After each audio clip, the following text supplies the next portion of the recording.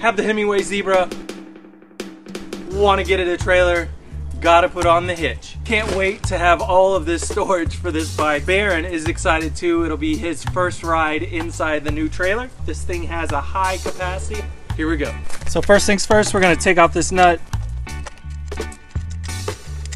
Then we're gonna check the diameter.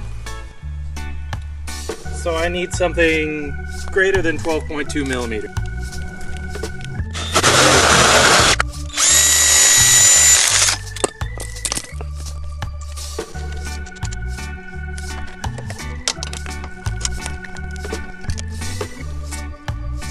I left out the washers so I could have depth in the nut.